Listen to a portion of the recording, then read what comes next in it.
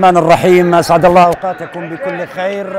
التحية لكم أحبتي مشاهدي ومتابعي قنوات شبكة الإعلام العراقي وعودة دوري نجوم العراق دوري النخبة العراقي ومباريات هذه الجولة الجولة الثالثة والثلاثين ولقاء نادي القاسم اللي يضيف فريق نادي أمانة بغداد على اديم ملعب الكوت الأولمبي. المباراة اللي تأخرت عن انطلاقها تقريبا نصف ساعة كاملة لذلك بسبب تشابه للألوان بين حارس المرمى لفريق نادي القاسم مع الفانلة الخاصة بنادي أمانة بغداد. لذلك توقفت المباراة لعدم وجود فانلة احتياطية لحارس مرمى فريق نادي القاسم. لذلك المباراة الآن ستنطلق في هذه اللحظات ما بين الفريقين. مباراة حساسة وصعبة لما يمر به الفريقين من خلال مشوارهم خلال هذا الموسم والفريقين في مراكز متأخرة في جدول الترتيب لدوري نجوم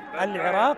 نادي القاسم اللي يحتل المركز الثامن عشر برصيد 25 نقطة بينما فريق أمانة بغداد يقف في المركز التاسع عشر برصيد 23 نقطة. لذلك مباراة مباراة الفريقين طبعا هي تعتبر بست نقاط إذا ما حقق فريق نادي القاسم وإذا ما حقق فريق أمانة بغداد.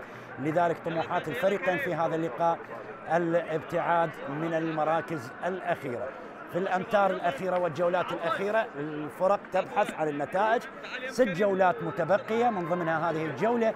لذلك أمانة بغداد يحاول أن يرفع رصيده من النقاط من خلال هذا اللقاء ويفكر فيما تبقى من مباريات لدوري نجوم العراق وأيضا نفس الحال ينطبق على فريق نادي القاسم هو الآخر اللي يحاول أن يبتعد عن المراكز الأخيرة والمهددة بالهبوط. الآن الفريقين طبعا هم من الفرق اللي تتواجد في مراكز الهبوط مع أندية نفط البصرة ونادي القاسم وأمانة بغداد ونفط الوسط. هنا حكم المباراة حكم درجة أولى محمد صادق هو اللي يقود هذا اللقاء وهذه المباراة الأولى للمدرب العائد من جديد لتدريب فريق نادي أمانة بغداد المدرب ثائر أحمد اللي يقوده في هذا اللقاء خلفا للمدرب عباس عبيد ويعتبر ثائر أحمد ثالث المدربين لفريق أمانة بغداد خلال هذا الموسم بعد وسام طالب وعباس عبيد وهنا أيمن الحكيم أيضا مدرب فريق نادي القاسم المدرب السوري اللي يطمح أن يبقي فريق نادي القاسم للمواسم القادمة. اذا ننتظر صافرة حكم المباراة. درجة أولى محمد صادق اللي يقود هذا اللقاء بمساعدة مقداد عقيل كمساعد أول محمد أحمد مساعد ثاني أحمد قاسم حكم رابع لمباراة اليوم. وفي غرفة الفار يتواجد الدولي مهند قاسم ويساعده حيدر عدوان.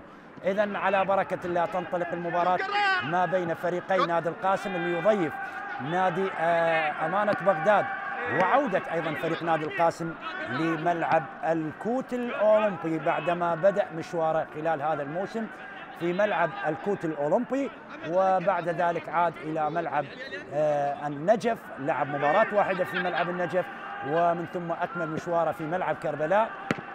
هو الملعب الافتراضي لفريق نادي القاسم.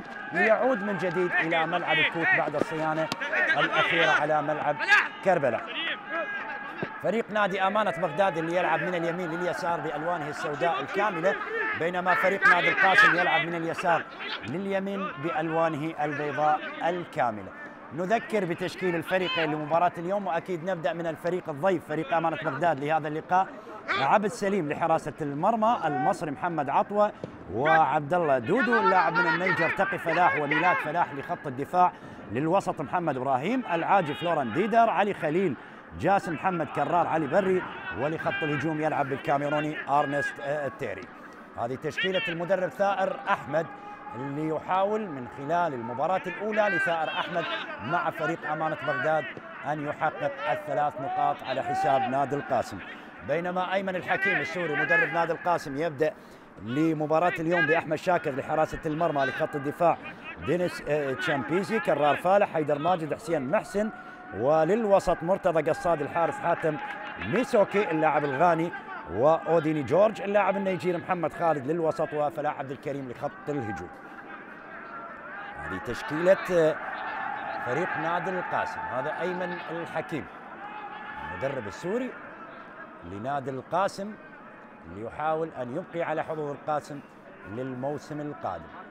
أمانة بغداد في وضع صعب نادي القاسم في وضع صعب. هذه الأندية تعاني في المراكز الأخيرة عملية الهجوم الآن امانه بغداد داخل منطقة الجزاء نادي القاسم ميسوكي ميسوكي أول محاولة لنادي القاسم على مرمى أمانة بغداد. ميسوكي الغاني. ميسوكي جيان. الغاني هذا تقي فلاح كان واضح في الصورة. وسام طالب قريب من ثائر أحمد المدرب اللي, اللي أعاد فريق نادي أمانة بغداد لدوري الكبار وقاد في المرحلة الأولى ومن ثم تمت الاستعانة بالمدرب عباس عبيد وأيضا عباس عبيد غادر تدريب فريق نادي امانه بغداد ويأتي الدور للمدرب ثائر أحمد المدرب القديم الجديد لفريق نادي امانه بغداد ويبقى واحد من المدربين الكبار في دورينا ثائر أحمد. هو عمل مستشار مع فريق امانه بغداد مع وسام طالب وأيضا مع عباس عبيد لكن الآن يستعين في أمانة بغداد من خلال تدريب الفريق لهذه المباراة. كرة النقل الوسط.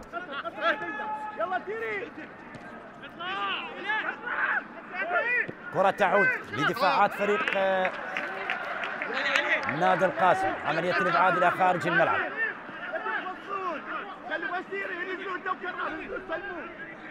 تبعد إلى خارج أرضية الملعب. هذا ميسوكي. تقي فلاح مدافع اليسار القادم من نفط الوسط. فريق اللي يعاني في المركز الأخير. ب 15 نقطة وفريق نادي نفط الوسط. قريب جدا من مغادرة دوري نجوم العراق منذ تواجده في في دوري الكبار موسم 2014 2015 عندما حقق لقب الدوري العراقي. لكن هذا الموسم نفط الوسط أحد الفرق القريبة من الهبوط. كرة عادت لدفاعات أمانة بغداد. هذا عبد الله دودو لاعب من النيجر يلعب كرة الأمام قريبة لمنطقة الجزاء لمرمى نادي القاسم اللي يدافع أمام محاولة أمانة بغداد تعود للوسط ميسوكي لكن يخسرها ميسوكي للاعبي فريق أمانة بغداد عطوة يلعب كرة إلى جهة اليسار أقرب لتقي فلاح تقي ينقل كرة للوسط بري يحاول يمر كرار علي بري لكن يخسرها كرار علي بري. تعود من جديد فلاح عبد الكريم متراجع للوسط مرتضى قصاد جاي اللعب لجهة اليسار مرتضى قصاد. كرة يتناقل لاعبي فريق نادي القاسم. عملية تغيير اللعب بعيدة مرت إلى خارج الملعب تصبح رمية جانبي هذا هو ميسوكي. عند هدف على أربيل والحدود والكهرباء والشرطة. وعلى نفط الوسط والزوراء والنفط والحدود. ميسوكي. أخطر محاولات فريق نادي القاسم على مرمى امانه بغداد. رمية جانبية. عملية الإبعاد إلى خارج الملعب. إلى خارج الملعب تصبح رمية جانبية. لمصلحة فريق نادي أمانة بغداد.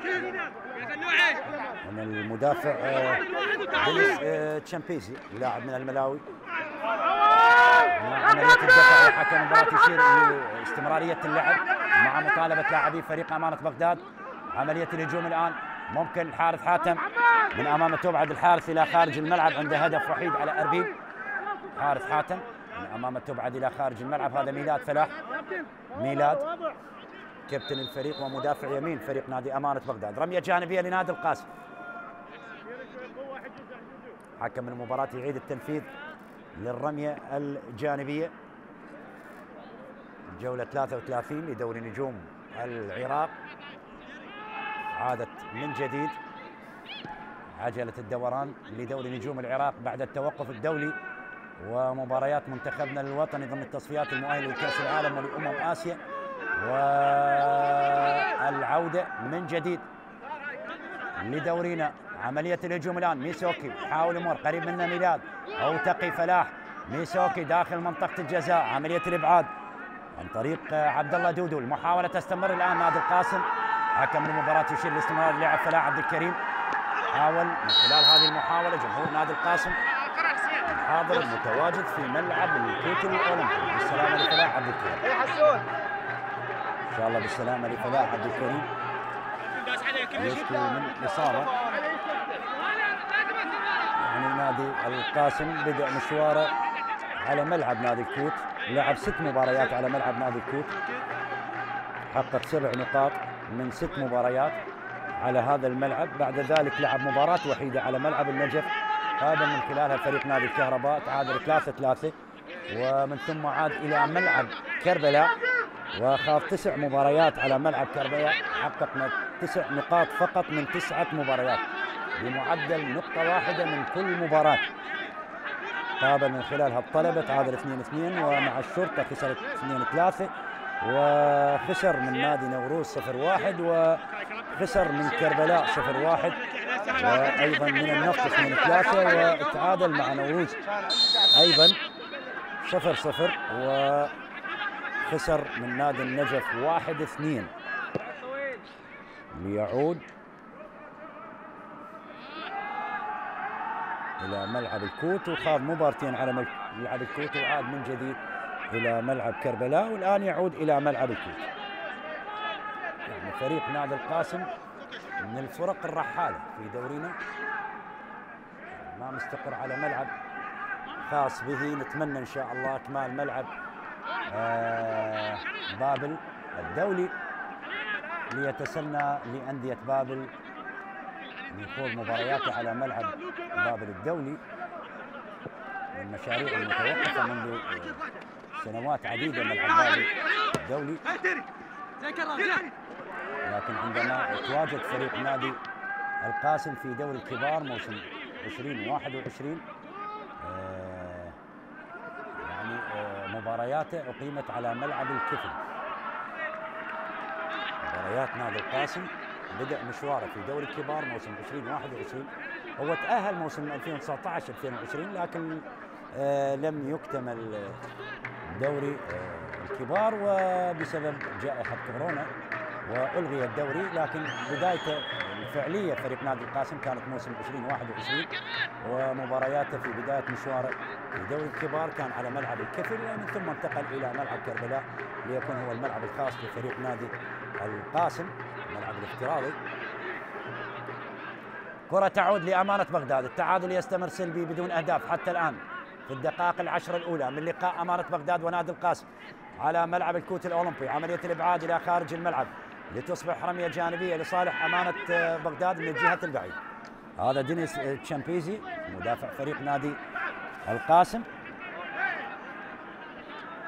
دينيس تشامبيزي يبعد الكرة إلى خارج الملعب. لتصبح رمية جانبية لأمانة بغداد.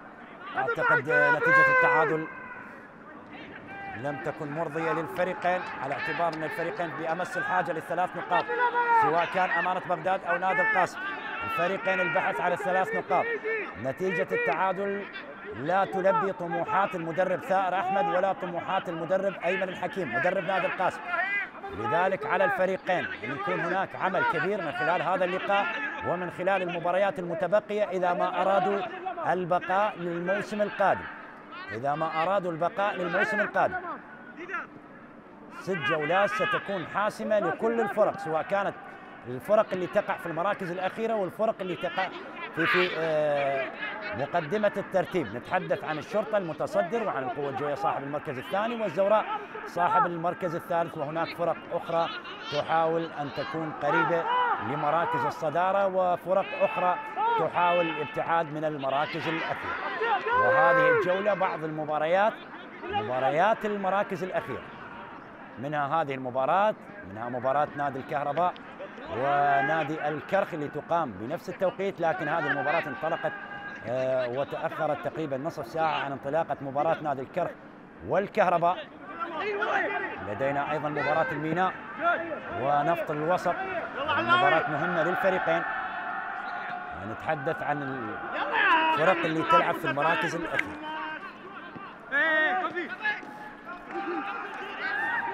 كرة تعود للوسط. لأمانة بغداد عملية التغيير. هناك على الطرف الأيمن.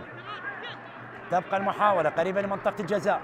لنادي أمانة بغداد يحاول أن يفاجئ نادي القاسم بهدف مبكر في هذا اللقاء. هنا عن طريق الجانب الأيسر تنقل داخل منطقة الجزاء لكن بعيدة مرت إلى خارج الملعب بركلة مرمى ركلة مرمى هذا كرار علي بري. اللاعب اللي سبق وأن لعب لأندية القوه الجوية والنفط. الأندية اللي مثلها كرار علي بري واحد من الأسماء المهمة مع تشكيل فريق نادي امانه بغداد ويظهر أمامنا في الصورة أيضا اللاعب الكاميروني أرنست تيري. عنده ثلاث أهداف أرنست تيري. اللاعب الكاميروني سجل على نفط ميسان وعلى نوروز. عذرا عنده هدفين أرنست تيري فقط هدفين. على نفط ميسان وعلى نوروز. مهاجم فريق نادي أمانة بغداد كرة عالية في المنتصف. عادت من جديد. علي خليل هيئ كرة إلى كرار علي بري. عادت لجهه اليسار لمصلحة فريق نادي أمانة بغداد. علي خليل. حاول يغير لعب علي خليل. عنده هدف على القوة الجوية. انتهت واحد واحد ما بين الفريقين القوه الجوية وأمانة بغداد. وهذه طبعا كانت آخر مباراة للمدرب وسام طالب.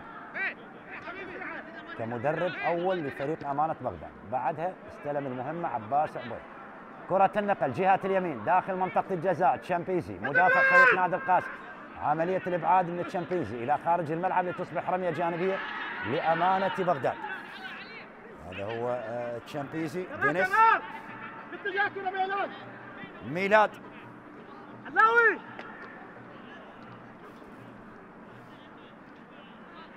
ميلاد فلاح أيمن الحكيم. ميلاد كرار ميلاد كرار ميلاد جاسم. اي يلا جاسم. والعقل على اعتبار ثار أحمد. نبتي اشتغل يلا داو يلا جاسم. يطلق عليه أبو يلا العقل جاسم. لذلك أيمن الحكيم. و ثائر أحمد أبو العقل. الحكمة والعقل موجودة في هذا اللقاء. ما بين المدربين أيمن الحكيم وثائر أحمد. تقي فلاح واحد من أسماء الخبرة. نرجع نرجع كرار كاف وزاخو نفط الوسط اليوم موجود مع فريق نادي أمانة بغداد. تقي فلاح. واحد من المدافعين الجيدين. في دورينا هناك دفع وخطأ لمصلحة فريق نادي القاسم. هذا حسين محسن. واحد من أسماء الخبرة وبطاقة صفراء على شيء. على كل حال بطاقة صفراء أولى في هذا اللقاء على أرنستيري الكاميروني أرنستيري تلقى بطاقة صفراء من قبل حكم المباراة محمد صادق مع وجود خطأ لمصلحة نادي القاسم. أسود سورة أمام أسود العاصمة. أسود سورة أمام أسود العاصمة في هذا اللقاء. ولمن يحسم اللقاء آه، اللقاء ونقاط المباراة هل ستذهب لفريق نادي القاسم أم لأمانة بغداد؟ الخسارة ستقلل من حظوظ الفريقين. إذا ما خسر أحد الفريقين ستقلل من حظوظه للبقاء للموسم القادم سواء كان أمانة بغداد أو نادي القاسم. لأن أمانة بغداد في حال تحقيق الانتصار على نادي القاسم سيتقدم إلى المركز الثامن عشر. بدلا من نادي القاسم. يرفع رصيده إلى 26 نقطة ونادي القاسم يبقى 25 نقطة لكن نادي القاسم يحاول الابتعاد من أمانة بغداد ويصل آه، بنفس الرصيد من النقاط مع نفط البصرة اللي تنتظر مباراة مهمة يوم غد نفط البصرة أمام القوة الجوية.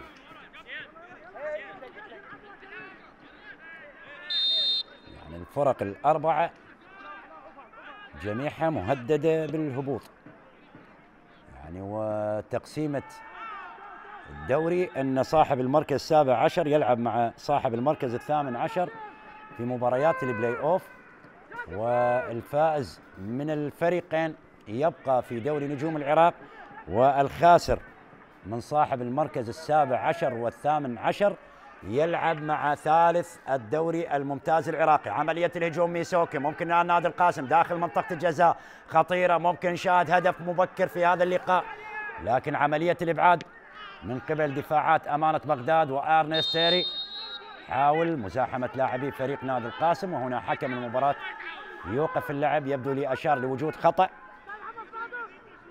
تحدث عن الفرق اللي الأربعة الموجودة في آخر الترتيب لدوري نجوم العراق. نفط البصرة ونادي القاسم وبغداد ونفط الوسط. يعني صاحب المركز 19 وصاحب المركز 20 مباشرة الهبوط إلى الدوري الممتاز العراقي بينما صاحب المركز السابع عشر والمركز الثامن عشر يلعبون فيما بينهم والفائز يبقى في دوري نجوم العراق والخاسر يلعب مباراة البلاي أوف مع ثالث دوري الممتاز العراقي ثالث الدوري الممتاز العراقي والفائز يتأهل إلى دوري نجوم العراق والخاسر آه، يبقى في الدوري الممتاز. عملية الهجوم. حسين محسن من أمامه تمر إلى خارج الملعب. يعني عملية معقدة صعبة صعبة جدا على الفرق اللي تقع في المراكز الأخيرة. معقدة جدا.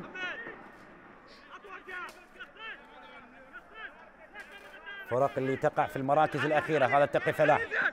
على التنفيذ للرمية الجانبية تنتظر الفريقين مباريات مهمة. عدا هذه المباراة. نتحدث عن مباريات نادي القاسم خارج ملعبه سيواجه نادي نفط البصرة. وفي ملعبه سيقابل نفط الوسط.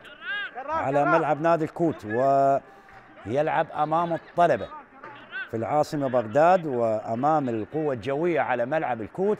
ومن ثم يقابل نادي كربلاء. واعتقد المباراة أيضا يقابل من خلال فريق كربلاء على ملعب الكوت لأن كربلاء أيضا هو الآخر يتخذ ملعب الكوت ملعب افتراضي له بعد الإدامة الأخيرة على ملعب نادي كربلاء.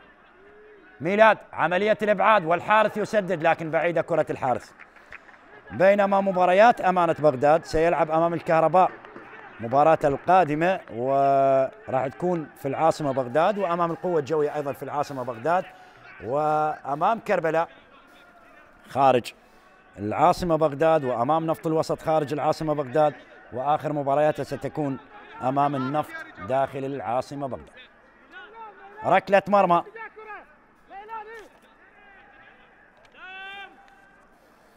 لمصلحة أمانة بغداد. تنفذ ركلة المرمى من الحارس عبد السليم.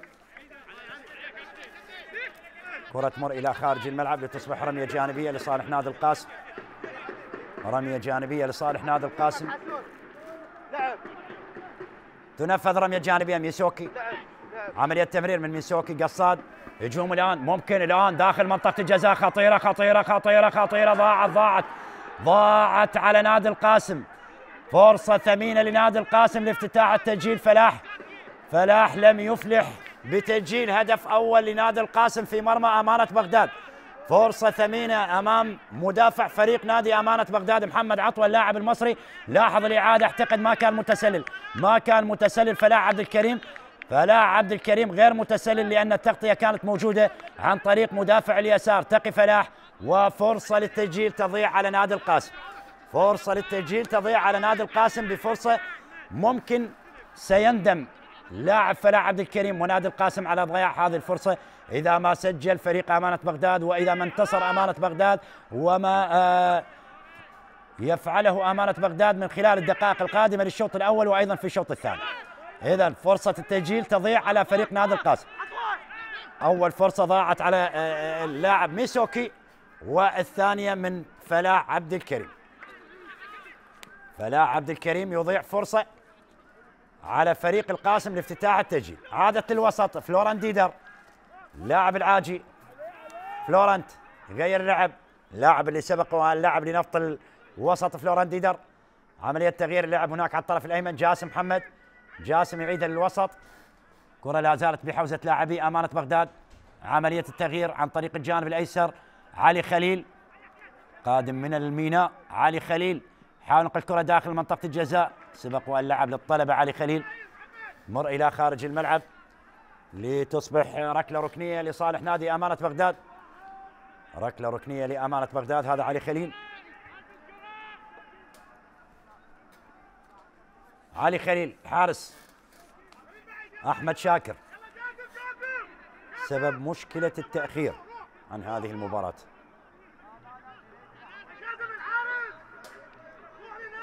إذا الركنية لأمانة بغداد محمد إبراهيم. محمد على تنفيذ الركنية محمد إبراهيم. لاعب الوسط لأمانة بغداد داخل منطقة الجزاء لنادي القاسم يدافع بأكثر من لاعب. هنا عطوة يحاول يعكس كرة داخل منطقة الجزاء لأمانة بغداد. ممكن علي خليل علي خليل يحاول إيجاد المساحة للتمرير. ينقلها داخل منطقة الجزاء. نادي القاسم عملية الإبعاد محمد عطوة تعود للوسط الآن. ديدر فلورنت لتعود من جديد حتى مدافعي نادي أمانة بغداد والتقدم للأمام. يعيدها إلى فلورنت ديدر. فلورنت. ديدر لاعب الوسط لفريق نادي أمانة بغداد. الحارث حاتم يحاول يمر. ينقل الكره إلى جهة اليسار ميسوكي. اللي انتقل على جهة اليسار اللاعب الغاني ميسوكي. جيان ميسوكي. تعود لنادي القاسم ميسوكي. عملية تمرير ما بين لاعبي فريق نادي القاسم محمد خالد لكن يخسر الكرة محمد خالد تعود لفلوران ديدر. ينقل الأمام فلوران ديدر عملية الهجوم الآن. بعض الشيء الآن يتحرك لاعبي الفريقين نحو المرمى نحو التسجيل. شاهدنا فرصة ضاعت على فريق نادي القاسم وفريق نادي أمانة بغداد يحاول أن يصل إلى هدف من خلال هذه اللحظات. على الفريقين راح يكون عمل كبير من خلال الجولات المتبقية. تقي فلاح اللي دائما يتقدم عن طريق الجانب الأيسر. يعكس كرة داخل منطقة الجزاء. الحارس بمبدأ السلامة أحمد شاكر حارس المرمى لفريق نادي القاسم. الحارس حاتم يفتك الكرة بشكل ممتاز. الحارس حاتم ينقل كرة لوسط الحارس. عملية الهجوم الآن نادي القاسم.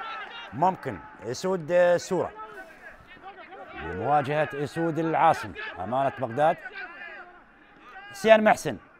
ميسوك. عملية التغيير. محمد خالد. كرة يتناقل لاعبي فريق نادي القاسم قصاد. سدد على المرمى. مرتضى قصاد لكن سهلة تصل لحارس المرمى لأمانة بغداد عبد السليم. واضح في الصورة أحمد شاكر. حارس المرمى لفريق نادي القاسم هذا ميسوكي. الله يعين اللاعبين على هذه الأجواء وارتفاع درجات الحرارة. يعني وقت صعب جدا تلعب كرة القدم في درجة حرارة تصل إلى 50 درجة مئوية. نصف الغليان 50 درجة مئوية يعني مشكلة كبيرة يعني تواجه اللاعبين. يكون صعوبة التنفس الحركة المردود البدني للاعبين. كرة تبعد إلى خارج الملعب رمية جانبية. الحارث حاتم.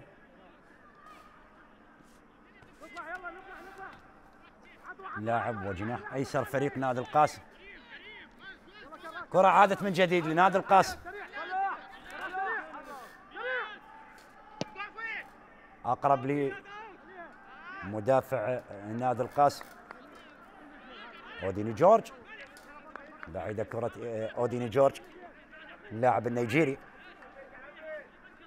لاحظ هنا الإعادة والفرصة الثمينة لفريق نادي القاسم اللي أضاعها بغرابة فلا عبد الكريم.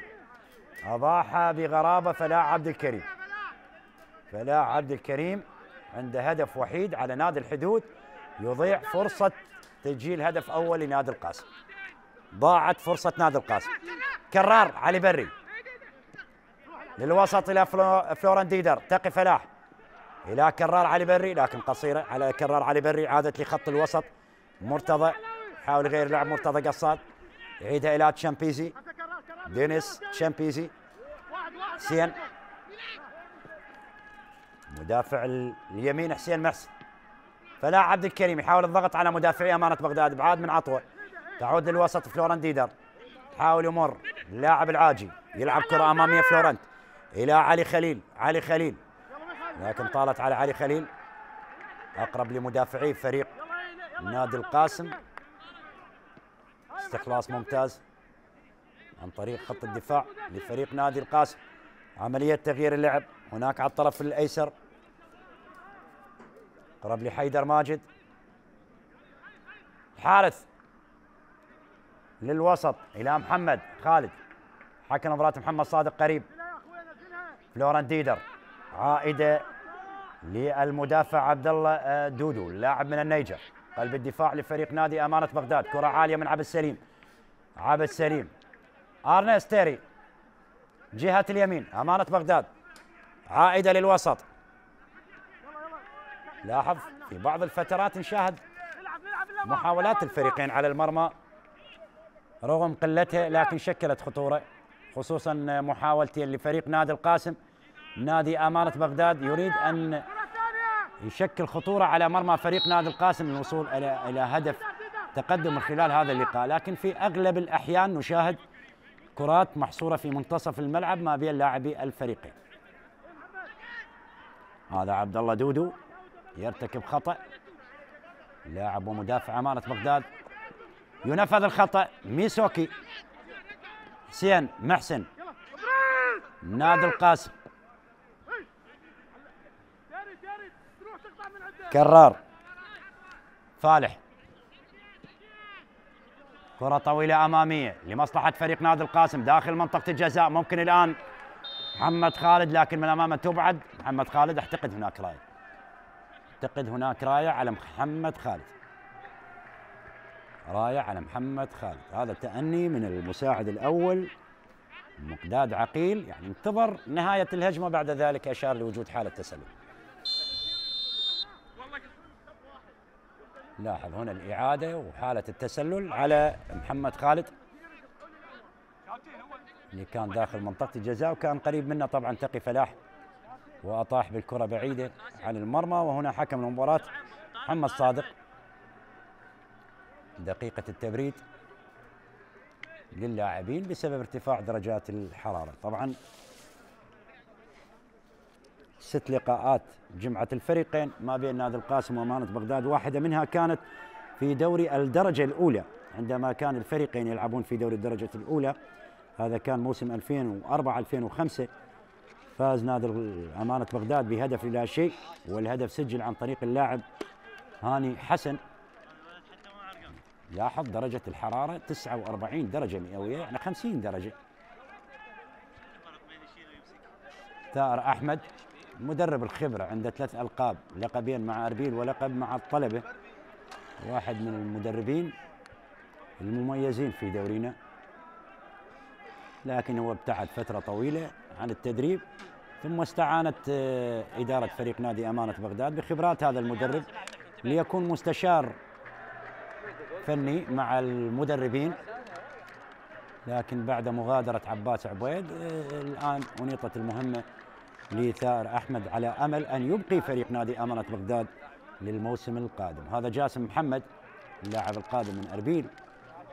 مثل الزوراء طبعا مثل النفط أربيل. جاسم محمد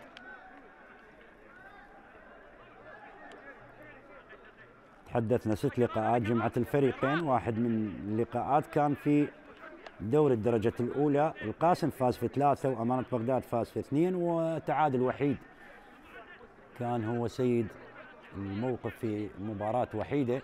تعادل من خلال الفريقين بدون أهداف ولحد الآن النتيجة بدون أهداف ما بين الفريقين. نذكر في مباراة الإياب اللي انتهت بهدف لنادي القاسم اللي أقيمت على ملعب أمانة بغداد وفاز نادي القاسم بهدف لا شيء وسجل الهدف بالخطأ عن طريق المدافع أيمن رزيج. وعلى فكرة مباراة أمانة بغداد ونادي القاسم كانت هي افتتاح لدوري نجوم العراق. أول مباراة في دوري نجوم العراق كانت مباراة الافتتاح. فاز نادي القاسم بهدف لا شيء يلا كرر لك هاي يومها نادي القاسم كان المدرب شاسر سلطان هو المدرب لفريق نادي آه، القاسم. ووسام طالب هو المدرب لفريق نادي أمانة. تغيرت الأسماء وتغيرت اللاعبين اللي كانوا موجودين في مباراة الذهاب والافتتاح لدوري نجوم العراق. اليوم بعض الأسماء وكثير من الأسماء تغيرت عن التشكيلة اللي لعبوا الفريقين في مباراة الافتتاح. كرة عالية للمنتصف. عملية الإبعاد من دفاعات نادي القاسم.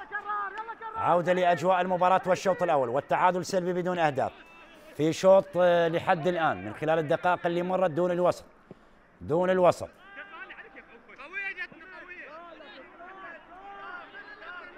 كرة تمر إلى خارج الملعب. تقي فلاح وأمانة بغداد يبحث عن الأفراح. يبحث عن النقاط يبحث عن 18 نقطة من ست مباريات. 18 نقطة ممكن أن تبعد وتبقي فريق أمانة بغداد في الدوري ال- دوري نجوم العراق. 18 نقطة ممكن أن تبقي فريق نادي القاسم في دوري نجوم العراق. لكن في ظل المباريات المتبقية للفريقين أعتقد الأمر صعب جدا على نادي القاسم وعلى نادي أمانة بغداد. لأن لو تلاحظ فريق نادي القاسم عنده مبارتين من العيار الثقيل أمام الطلبة وأمام القوة الجوي بينما فريق نادي أمانة بغداد أيضا عنده مباراة واحدة أمام القوة الجوية. يعني الأمر صعب. وعنده مع فرق يعني جيدة نتحدث عن الكهرباء وعن كربلاء وعن النفط. هذه الفرق. هجوم الآن لنادي أمانة بغداد ميلاد فلاح داخل منطقة الجزاء خطيرة على مرمى نادي القاسم. تصل سهلة لحارس المرمى أحمد شاكر. أحمد شاكر حارس المرمى لنادي القاسم. للوسط فلاح عبد الكريم. حاول يمر. بينه وبين المدافع عبد الله. دودو مدافع فريق نادي أمانة بغداد فلاح عبد الكريم.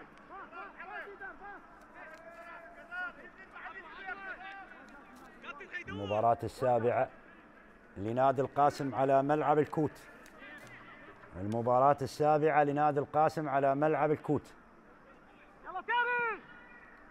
تسع مباريات على ملعب كربلاء مباراة وحيدة على ملعب النجف. اليوم يعود من جديد إلى ملعب الكوت. يعني ملعب الكوت حقق سبع نقاط من ست مباريات حقق ست نقاط من تسع مباريات على ملعب كربلاء وعلى ملعب النجف حقق نقطة وحيدة. كرة النقل الوسط لمصلحة فريق نادي القاسم. هناك دفع حكم المباراة يشير إلى وجود ركلة حرة لصالح نادي القاسم. ركلة حرة مباشرة لصالح نادي القاسم من منتصف الملعب. ركلة حرة لاحظ علي خليل يرتكب خطأ. مع وجود ركلة حرة فلاح عبد الكريم اللي كان في صراع مع عبد الله دودو حكم المباراة في هذه الحالة لم يشر لخطأ عملية الهجوم الآن لنادي القاسم عادت للوسط فلورنت ديدر. إلى تقي فلاح. يلحق بالكرة تقي. ينقل الكرة الوسط تقي لكن عادت إلى جورج. جورج؟ أوديني جورج؟ اللاعب النيجيري لاعب الوسط لفريق نادي القاسم. عطوة. محمد عطوة. أمامية من المصري. محمد عطوة. فرعون المصري موجود مع أمانة بغداد. محمد عطوة. للوسط. أوديني جورج. أيمن. الحكيم.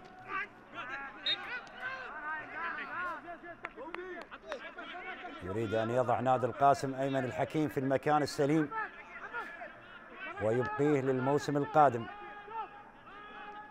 مر على فريق نادي القاسم عدة مدربين شاسم سلطان علي عبد الجبار واليوم أيمن الحكيم. الأسماء اللي مرت على فريق نادي القاسم خلال هذا الموسم. كرة لخطأ لنادي القاسم. كثرة الصافرة من حكم المباراة محمد صادق. ركلة حرة. ملعب الكوت من الملاعب الجميلة اللي اللي تم إنشائها حديثا وبالتالي ملعب الكوت يعني أغلب الفرق استعانت بهذا الملعب في بداية المشوار بسبب الصيانة الموجودة في عدة ملاعب خصوصا في العاصمة بغداد ملعب الشعب ملعب المدينة الدولي و... وحتى ملعب الكرخ أيضا أجريت عليه بعض الصيانة وبالتالي العديد من الأندية البغدادية استخدمت هذا الملعب. نتحدث عن القوة الجوية نتحدث عن الحدود نتحدث عن الكرخ الفرق اللي استعانت بملعب الكوت الأولمبي بينما أيضا فريق نادي كربلاء ونادي آه القاسم. وبالإضافة إلى نفط ميسان أيضا كانت هناك إدامة على ملعب ميسان الدولي. واستعان نفط ميسان بملعب الكوت الأولمبي للق... ل... المسافة ما بين الكوت وميسان لذلك أيضا نفط ميسان استعان عدة مباريات في ملعب الكوت الأولمبي. هذا الملعب شهد يعني عدة مباريات في دوري نجوم العراق. وإن شاء الله يستغل هذا الملعب خير استغلال. في دورينا للمواسم القادمة. لكن تبقى جماهير الكوت تترقب ومنذ سنوات طويلة. ما يقارب أكثر من عشرين عام ونادي الكوت بعيد عن دوري الكبار. لذلك تترقب جماهير الكوت عودة نادي الكوت أو أحد الأندية اللي تمثل محافظة واصل نتمنى نتمنى فرق المحافظات الفرق الجماهيرية تكون لها حضور في دوري الكبار. ركلة مرمى لصالح أمانة بغداد. حارس عبد سليم تنفذ ركلة المرمى. محمد عطوة. كرة أمامية من عطوة حسين محسن. تركها إلى خارج الملعب من أمام جاسم محمد. تغيير في مراكز اللاعبين. علي خليل أصبح يلعب على جهة اليمين وجاسم محمد أصبح يلعب على جهة اليسار. يغير المدرب ثار أحمد في مراكز اللاعبين. بالنسبة لفريق أمانة بغداد. هذا ميسوكي. بينما يظهر فلوران ديدر. العاجي لاعب الوسط لفريق نادي أمانة بغداد فلوران ديدر.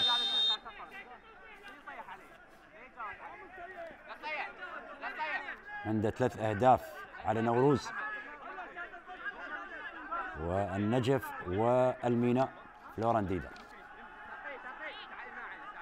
حديث ما بين حكم اللقاء محمد صادق ومدرب نادي القاسم أيمن الحكيم. تقي فلاح رمية جانبية لصالح أمانة بغداد. تنفذ الرمية الجانبية. أقرب لكرار علي بري لا وجود لخطأ. قصاد للحارث الحارث حاتم يلحق الكرة قريب منه علي خليل. مر حلوة. ليلي. الحارث حاتم بالمهارة مر. الحارث حاول ينطلق للامام الحارث حاتم. سبق وأن مثل طبعا الطلب ونوروز. الحارث حاتم يعود إلى فريقه السابق. نادي القاسم الحارث حاتم هذا ميلاد. يرتكب خطأ مع وجود ركلة حرة مباشرة لمصلحة فريق نادي القاسم. هذا هو الحارث حاتم. تدخل من ميلاد فلاح.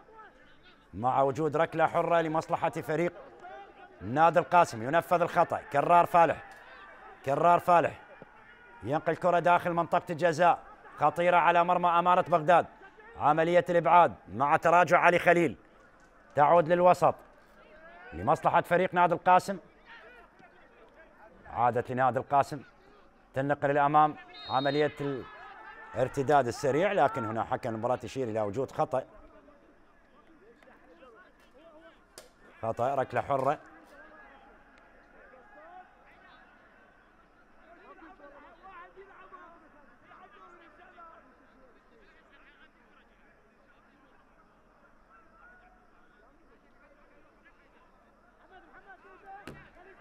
هنا الإعادة مع وجود خطأ. ركلة حرة لمصلحة أمانة بغداد. هنا محمد خالد. لاعب ومهاجم نادي القاسم ركلة حرة عطوة. محمد عطوة يلعب كرة للأمام. فاعلية الهجومية لفريق أمانة بغداد. معدومة تماما. وعدم وجود خطورة تذكر لفريق أمانة بغداد على مرمى نادي القاسم.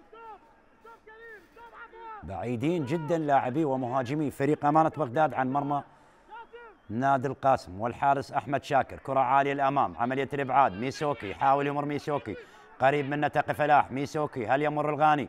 الغاني ممكن يمر ميسوكي بينه وبين تقي ميسوكي يحاول يعكس كرة داخل منطقة الجزاء لأمانة بغداد مر ميسوكي بهذه الطريقة ويلعبها بشكل خاطئ ميسوكي بعيد عن لاعبي نادي القاسم وأيضا لاعبي نادي أمانة بغداد تصبح رمية جانبية من الجهة البعيدة. هذا الحارث حاتم. رمية جانبية لأمانة بغداد. نلعب في الدقائق الأربعة الأخيرة.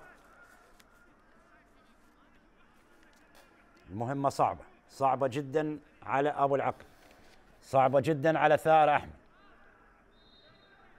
يريد إنقاذ ما يمكن إنقاذه لفريق بغداد طبعا ثائر أحمد. يريد إنقاذ ما يمكن إنقاذه فيما تبقى من المباريات حتى ولو تطلب الأمر يلعب مباريات البلاي أوف. يلعب مباريات البلاي أوف. يعني طموحه حتى وإن كان لعب مباريات البلاي أوف. ممكن أن تبقيه للموسم القادم. كرة تعود للوسط. كرار علي بري. ينقل كرة للخلف. كرار. عملية الهجوم الآن. علي خليل. تدخل من حسين محسن. مدافع اليمين. اللي يلعب آه، أمام منطقة الجزاء. لمرمى فريق نادي القاسم فلاح عبد الكريم. فلاح للحارث قريب منه ميسوكي. ميسوكي جيان للوسط إلى أوديني جورج. حاول يمر النيجيري لكن يخسرها أوديني. تعود لمصلحة فريق نادي أمانة بغداد. عملية تمرير الأمام لكن بعيدة عن علي خليل إلى خارج الملعب. تصبح رمية جانبية لصالح نادي القاسم. هذا هو علي خليل. كرار فالح للوسط. حسين محسن. عيدها للخلف. إلى أوديني جورج. أمامية من أوديني جورج قريبة لمنطقة الجزاء. هنا تدخل ومحمد خالد خطأ لمصلحة فريق نادي القاسم ركلة حرة لنادي القاسم محمد خالد. ركلة حرة لصالح نادي القاسم ميلاد. هذا وسام طالب هو اللي قاد الفريق. أعاد الفريق لدوري نجوم العراق وقاد الفريق لغاية مباراة نادي القوة الجوية. بعدها عمل كمساعد مع عباس عبيد بالإضافة إلى الكابتن حبيب جعفر. غادر طبعا حبيب وغادر عباس عبيد. الآن وسام طالب وخلدون إبراهيم مع الإبقاء على مدرب الحراس إبراهيم سالم حارس الخبرة الدولي السابق إبراهيم سالم. كمدربا لحراس مرمى فريق نادي أمانة بغداد.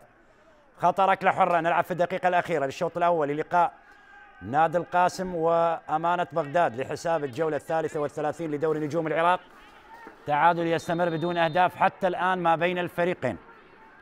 تعادل قائم بدون أهداف حتى الآن ما بين الفريقين. والتعادل لا يلبي طموحات الفريقين. كرة داخل منطقة الجزاء. نادي القاسم عملية الإبعاد من لاعبي أمانة بغداد. لا وجود للاعب من أمانة بغداد في منتصف أو قريب لمرمى فريق نادي القاسم. كل لاعبي أمانة بغداد متراجعين.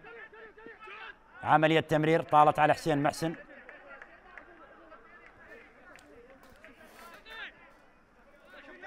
رمية جانبية تصبح لصالح نادي أمانة بغداد. هذا التقي فلاح. كل مباريات الفريقين الخمسة المتبقية وهذه المباراة طبعا راح تكون صعب راح تكون صعب. في ظل هذا الأداء وفي ظل ما يحصل للفريقين الأمور تبدو لي صعبة جدا على الفريقين صعبة جدا على الفريقين. ننتظر قادم الجولات ننتظر قادم المباريات ننتظر الشوط الثاني لهذا اللقاء. إذا حكم المباراة محمد صادق يعلن عن دقيقتين وقت محتسب بدل ضاع للشوط الأول للقاء نادي أمانة بغداد ونادي القاسم والتعادل قائم بدون أهداف كرة عادة من حسين محسن إلى كرار فالح يلعب كرة أمامية كرار. البحث عن فلاح عبد الكريم وميسوكي وبالإضافة إلى محمد ماجد. خط الهجوم لفريق نادي القاسم. محمد خالد.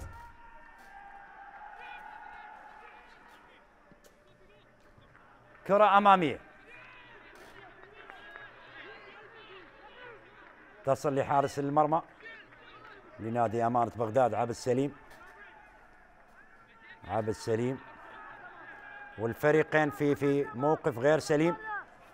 في جدول الترتيب لدوري نجوم العراق.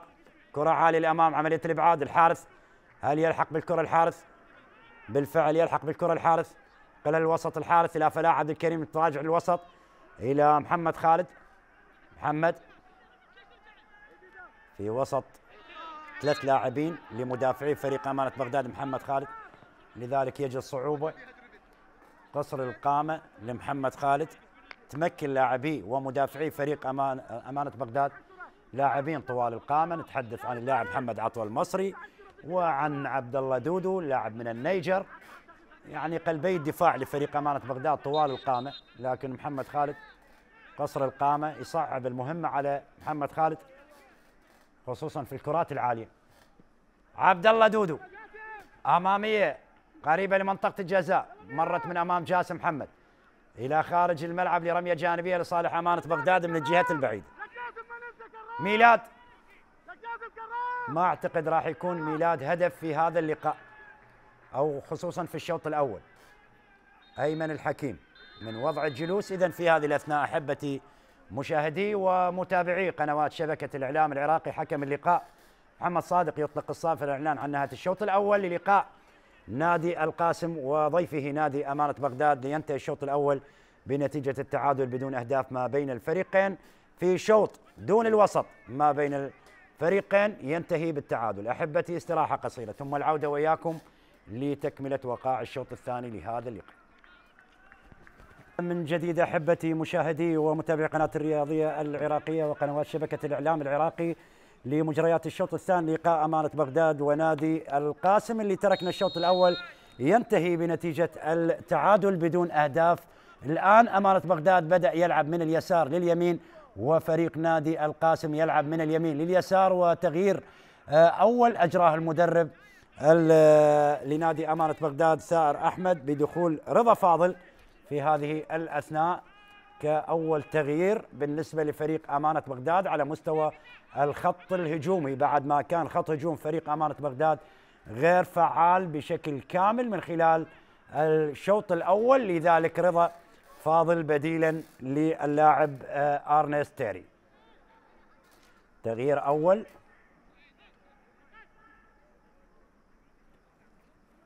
هذا علي خليل.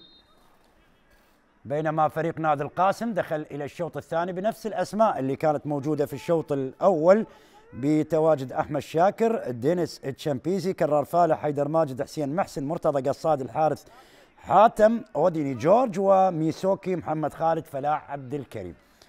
بينما أصبحت تشكيلة فريق نادي أمانة بغداد عبد السليم محمد عطوة عبد الله دودو ميلاد فلاح تقي فلاح محمد إبراهيم فلوران ديدر علي خليل جاسم محمد كرار علي بري ورضا فاضل.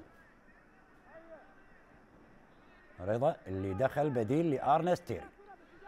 رمية جانبية اذا هذا ميسوكي لحد الآن لم يظهر بالشكل المطلوب. أضاع فرصة من خلال الشوط الأول هذا تقي فلاح مدافع اليسار لفريق أمانة بغداد على التنفيذ للرمية الجانبية. تنفذ إلى محمد عطوة عطوة إلى عبد الله دودو لاعب من النيجر يعيد لحارس المرمى عبد السليم. أكيد كان حديث طويل لمدربي الفريقين حول آلية والشوط الأول والأداء اللي كان غير مرضي أكيد. لذلك كان حديث طويل للمدرب ثار أحمد ولمدرب فريق نادي القاسم السوري أيمن الحكيم حول الشوط الثاني والعبء الكبير هذا الحارس بينه وبين ميلاد. حارس حاتم يحاول يمر. قريب منه ميلاد فلاح. المحاولة تستمر. حارث يعيدها لقصاد يسدد على المرمى مرتضى قصاد. بعاد من دفاعات فريق نادي أمانة بغداد محمد خالد. يحاول مرور محمد خالد يحصل على خطأ مع وجود ركلة حرة لمصلحة فريق نادي القاسم. هذا كرار علي بري. ركلة حرة النيجيري أوديني جورج. لاحظ الإعادة والمرور اللي كان عن طريق اللاعب محمد خالد. والعرقلة اللي كانت عن طريق اللاعب علي خليل. على اثرها حكم اللقاء محمد صادق أشار لوجود خطأ لمصلحة فريق نادي القاسم. نادي القاسم والبحث عن نقاط المباراة. ركلة حرة لنادي القاسم.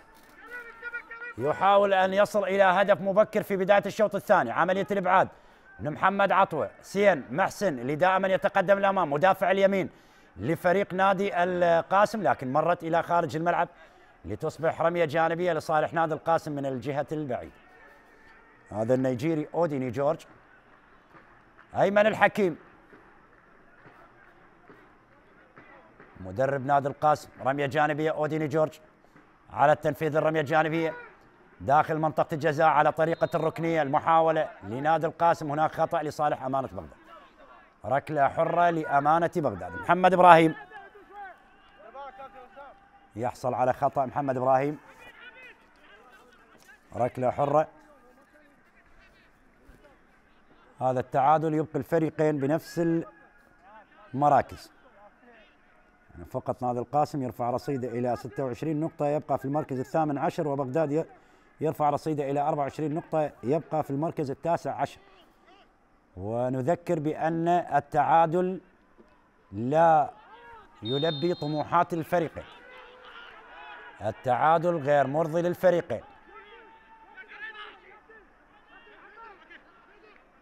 حكم اللقاء محمد صادق يشير إلى وجود خطأ لمصلحة نادي القاسم. لاحظ الإعادة وكانت مطالبة من رضا. فاضل بوجود خطأ لكن حكم المباراة أشار لاستمرارية اللعب والخطأ لصالح نادي القاسم. رضا فاضل طبعا القادم من نادي كربلاء لنادي أمانة بغداد في فترة الانتقالات الشتوية. هذا جاسم محمد ينقل كرة أمامية قريبة لمنطقة الجزاء. كرار فالع عملية الإبعاد عادت لكرار علي بري. بري حاول يمر ينقل كرة داخل منطقة الجزاء لكن بعيد. بعيدة إلى خارج الملعب لركلة مرمى لصالح نادي القاسم. علي خليل. كرار علي بري. نادي القاسم فاز في ست مباريات تعادل في عشرة وخسر في 16 مباراة. ومسجل 33 هدف وعليه 48 هدف. يعد آه، أضعف خط دفاع في دورينا. مع أندية نفط الوسط والميناء بالإضافة إلى بغداد أيضا خط الدفاع ليس بالمستوى المطلوب. بغداد اللي فاز في أربع مباريات تعادل في 11 وخسر في 17 مباراة. لكن أكثر فريق تعرض للخسارة هو نادي نفط الوسط ب 19 خسارة وأقل الفرق تحقيقا للفوز هو أيضا نفط الوسط بانتصار وحيد. وأقل الفرق تسجيلا للأهداف. فقط 17 هدف لفريق نفط الوسط. يعني أرقام صعبة جدا على فريق حامل اللقب. حامل اللقب موسم 2014 2015 نفط الوسط. عن دليب الفرات. ركلة حرة لأمانة بغداد. نترك الأرقام ونعود لأجواء المباراة. والتعادل السلبي يستمر ما بين الفريقين. أمانة بغداد ونادي القاسم. علي خليل. حارس المرمى أحمد شاكر. ركلة حرة مباشرة. أمانة بغداد. ممكن الكرات الثابتة تكون هي الحل لأحد الفريقين في هذا اللقاء. علي خليل على المرمى والحارس أحمد شاكر. والحارس أحمد شاكر حارس المرمى لنادي القاسم. المحاولة مستمرة. كرار علي بري وحيدر ماجد عملية الإبعاد. من قبل دفاعات نادي القاسم إلى خارج الملعب لرمية جانبي بالسلامة لكرار علي بري بالسلامة لكرار علي بري. محاولة كانت جيدة من علي خليل. سدد بالمباشر على المرمى حارس المرمى. ما كان متوقع إنه يكون التسديد بالمباشر على المرمى. لذلك أبعدها بمبدا السلامة. بعد ذلك استمرت محاولة أمانة بغداد على مرمى نادي القاسم. وبعد ذلك جاء الإبعاد عن طريق المدافعين لنادي القاسم. ولاحظ الصراع اللي كان ما بين اللاعب كرار علي بري ومدافع فريق نادي القاسم حيدر ماجد. إن شاء الله بالسلامة لكرار علي بري. هذا عبد الله كريم دودو لاعب من النيجر مدافع فريق نادي أمانة بغداد الحارث حاتم. لاعب اللي, اللي دائما تجد الحل الفردي مع الحارث حاتم. حلول الفردية وهذا جمهور لنادي القاسم حاضر في ملعب الكوت. يعني هذا الجمهور تحمل عناء كبير يعني. يعني ترحال خلف الفريق يعني حتى إن كانت المباريات هي لحساب نادي القاسم فهو تجد آه، جمهور نادي القاسم يرحل خلف الفريق سواء كان المباريات على ملعب كربلاء في بغداد في الجنوب في الشمال. جمهور نادي القاسم العاشق للفريق سود آه، سورة. إن شاء الله بالسلامة لكرر علي بري. سنوات طويلة للعمدة هذا. أحد الإداريين مع فريق نادي أمانة بغداد وعمل الكبير العزيز عماد. رمية جانبية تنفذ. تنقل الأمام نادي القاسم عملية الإبعاد. من دودو إلى خارج الملعب لتصبح رمية جانبية لنادي القاسم من الجهة البعيده رمية جانبية لنادي القاسم من الجهة البعيده اعتقد المدرب أيمن الحكيم سيفكر بالتغيير.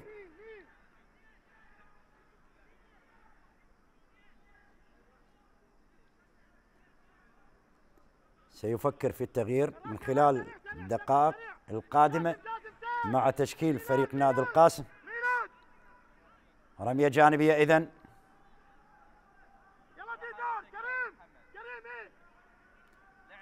لمصلحة نادي القاسم داخل منطقة الجزاء. محاولة تستمر. يريدون الوصول إلى هدف تقدم فريق نادي القاسم. جاسم عملية اللف والدوران إلى كرار علي بري علي خليل. طالت على علي خليل. تصل لتقي فلاح مدافع اليسار. عالية من تقي لكن بعيدة إلى خارج الملعب. بعيدة إلى خارج الملعب لتصبح رمية جانبية لصالح نادي القاسم. رمية جانبية لصالح نادي القاسم. أقرب لي لميسوك. فلاح عبد الكريم عودة للدفاعات شامبيزي تركها إلى حيدر ماجد مدافع اليسار كرة طويلة من حيدر ماجد قريبة لمنطقة جزاء نادي أمانة بغداد. ممكن عملية الإبعاد من دودو. جاسم دفع موجود. ركلة حرة لمصلحة فريق نادي القاسم أو لأمانة بغداد.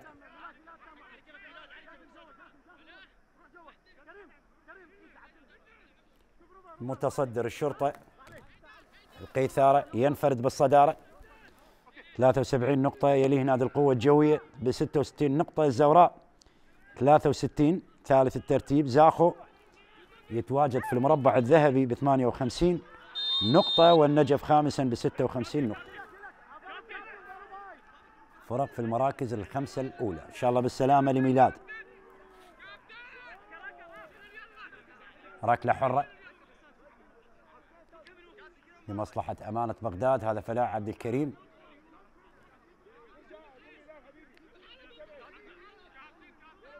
لاعب لفريق الديوانية لاحظ الإعادة. تدخل على ميلاد فلاح ركلة حرة. تقريبا بعض الأندية حظوظها خلاص انتهت وتواجدها للموسم القادم. تحدث عن دهوك نوروز الطلبة. النفط أيضا الحدود.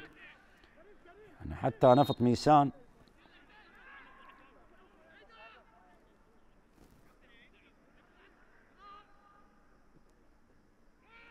فرق اللي اللي حافظت على تواجدها للموسم القادم. لكن الصراع سيستمر لفرق الصدارة ما بين الشرطة والقوة الجوية وهذا مرتضى قصاد. خطأ يشير لحكم المباراة مع وجود ركلة حرة لصالح نادي أمانة بغداد.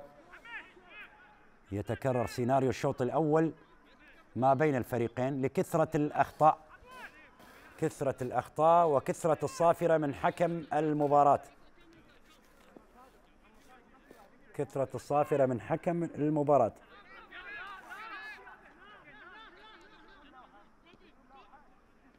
خطأ لصالح أمانة بغداد. ينفذ الخطأ. عملية التمرير قريبة للخط الجانبي. لا زالت داخل أرضية الملعب. الحارث إلى محمد خالد جهة اليسار لكن بعيدة إلى خارج الملعب. إذا تغييرين شاهد على حيسن.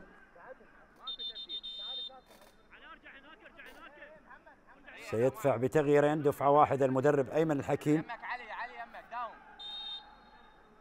واحد من الخيارات الهجومية طبعا على أم حسن بالنسبة للمدرب أيمن الحكيم من سيغادر؟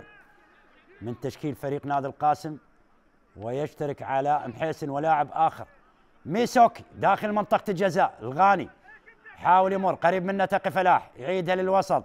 إلى أوديني جورج مر النيجيري داخل منطقة الجزاء خطيرة لنادي القاسم ومرت إلى الخارج.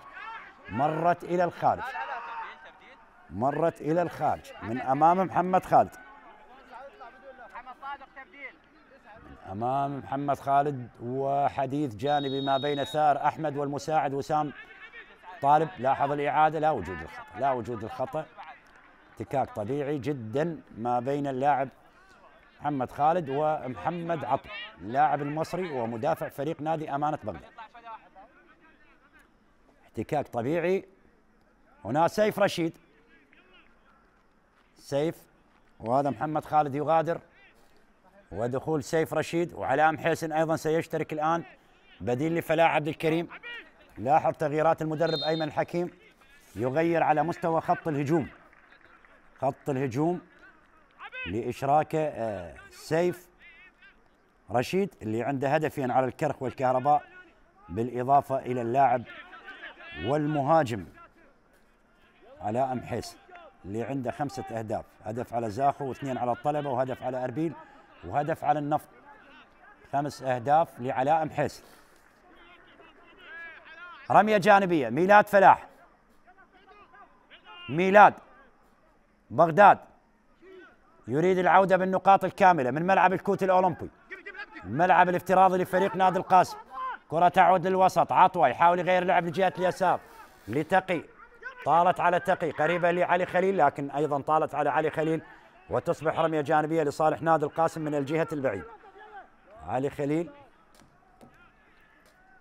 حاول اللحاق بالكرة ومرت كرة علي خليل.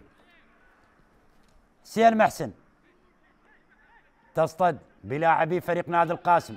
مرت من أمام مرتضى قصاد. عملية الهجوم. جاسم محمد ينقل كرة إلى ميلاد فلاح. حاول رضا فاضل. متراجع للوسط. رضا فاضل مهاجم فريق نادي امانه بغداد اللي اشترك بديل. لارنست تيري عملية الهجوم الآن أمانة بغداد داخل منطقة الجزاء وتغطية عن طريق اللاعب كرار فالح اللي بدوره يتركها إلى خارج الملعب لتصبح ركلة مرمى لصالح نادي القاسم. لنادي القاسم.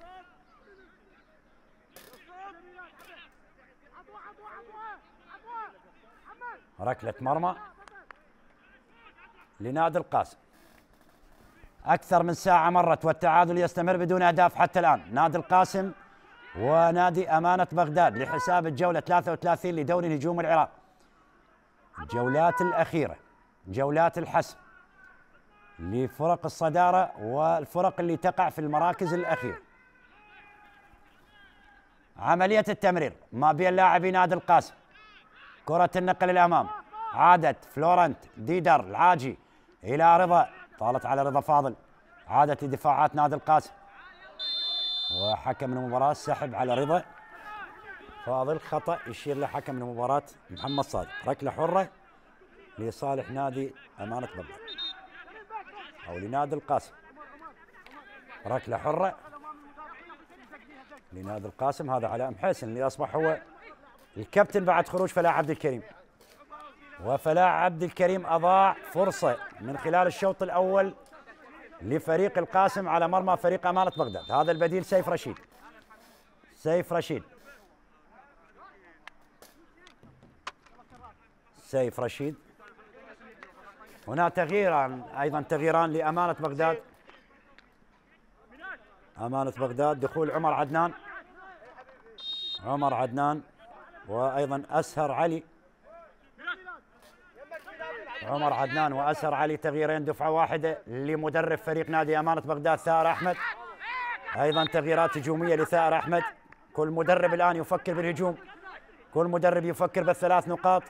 أيمن الحكيم وثائر أحمد. هذا هو أسهر علي. أسهر اللي عنده هدف على أربيل. أسهر علي بالإضافة إلى البديل الآخر اللي اشترك لاعب الوسط عمر عدنان. أسهر يرتكب خطأ بدخوله إلى أجواء المباراة. كرة النقل الوسط. سيف رشيد من أمامه تبعد أقرب لمحمد عطوة. يلعب كرة أمامية محمد عطوة. عادت لحيدر. ماجد مدافع اليسار. ينقل الوسط. أوديني جورج. إلى ميسوكي. على جهة اليمين. حسين محسن. تقي. تركه إلى خارج الملعب. تقي فلاح إلى رمية جانبية. لمصلحة فريق نادي أمانة بغداد هذا التقي.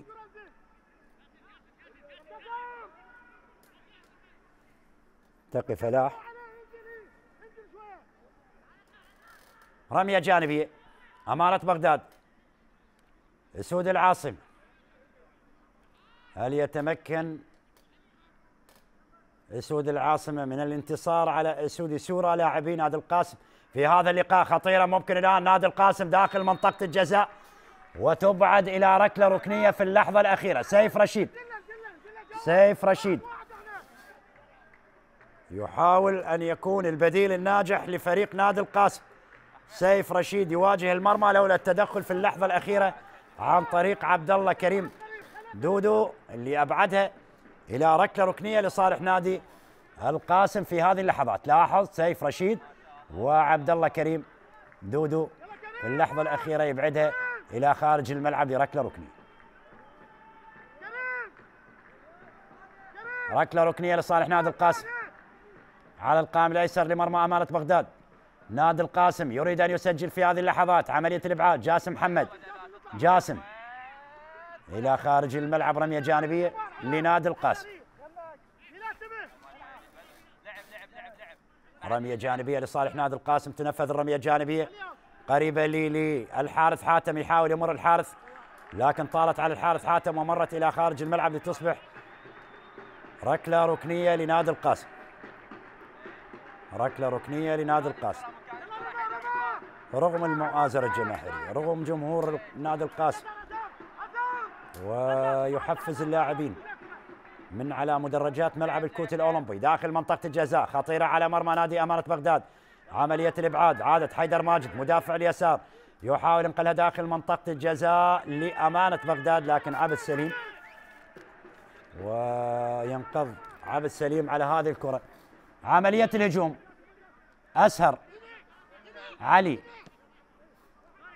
الآن ثائر أحمد يلعب بأربعة أربعة اثنين بعد ما كان الشوط الأول يلعب بأربعة خمسة واحد الآن يلعب بأربعة أربعة اثنين. بعد إشراكه رضا فاضل وأسهر علي. ودخول اللاعب عمر عدنان في خط الوسط من خلال التغييرات اللي أجراها المدرب ثائر أحمد مدرب فريق نادي أمانة بغداد وهذا ميلاد فلاح ميلاد فلاح على التنفيذ للرمية الجانبي. ميلاد جاسم لميلاد قريب من الحارث اصطدت بميلاد فلاح. حارث حاتم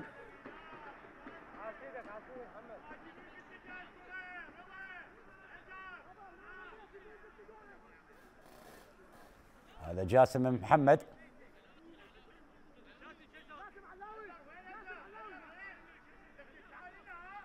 جانب من الحضور الجماهيري لجمهور نادي القاسم حاضر في ملعب الكوت الأولمبي. جمهور محب عاشق دائما يكون متواجد مؤازر للفريق. كرة تبعد إلى خارج الملعب رمية جانبية. لصالح نادي القاسم هذا ميلاد مدافع اليمين وكابتن فريق نادي أمانة بغداد. رمية جانبية حيدر ماجد.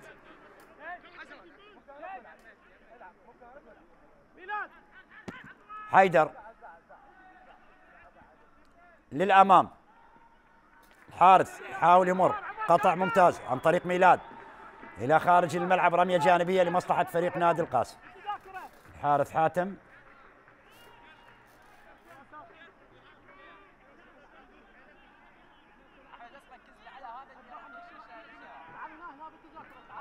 كان في محاولة عن طريق الجانب الأيسر. داخل منطقة الجزاء عبد. سليم.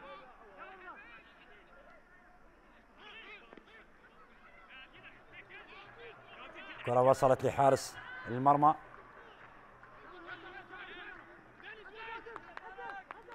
لنادي القاسم حيدر ماجد دينيس. شمبيزي عملية تغيير ميسوكي. حاول استخلاص الكرة ميسوكي بينه وبين ميلاد فلاح أو تقي فلاح. ميسوكي وتقي وعملية الإبعاد من تقي إلى خارج الملعب لرمية جانبية تصبح لصالح نادي القاسم. رمية جانبية لصالح نادي القاسم.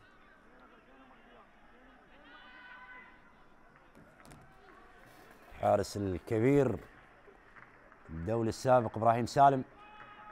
مدرب الحراس لنادي أمانة بغداد. هجوم الآن. سيف رشيد. بعيدة عن علاء. حسن إلى خارج الملعب. ركلة مرمى لصالح نادي أمانة بغداد. ركلة مرمى لأمانة بغداد.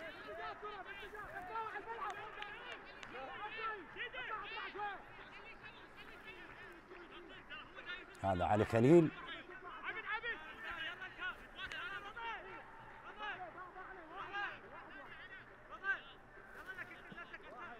ركلة مرمى. عبد سليم ممكن رضا. ممكن أسهر يخطف هدف لفريق نادي أمانة بغداد. ممكن البدلاء علام حسن. وسيف رشيد من جانب فريق نادي القاسم. يخطف هدف لفريقه ثلاث نقاط في غاية الأهمية. لنادي القاسم وأيضا لنادي بغداد. ثلاث نقاط في غاية الأهمية.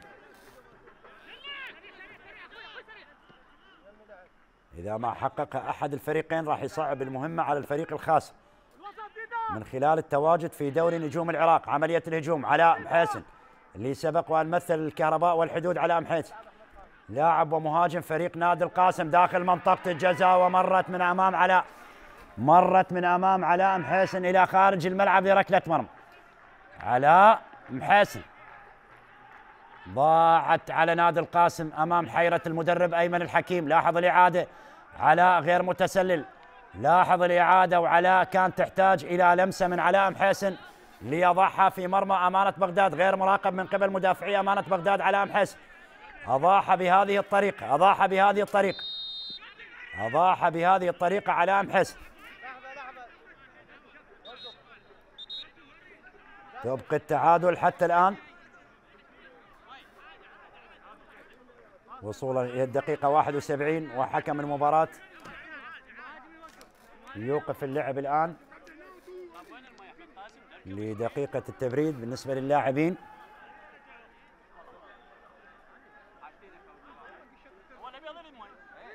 مباراة لحد الآن.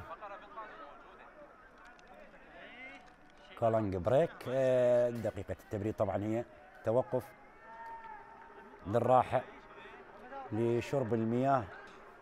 للاعبين في درجة حرارة. الآن خفضت درجة الحرارة بعد ما كانت في الشوط الأول 49 الآن 44 درجة مئوية. يعني انخفضت خمس درجات بعد ما كانت في الشوط الأول 49 درجة مئوية.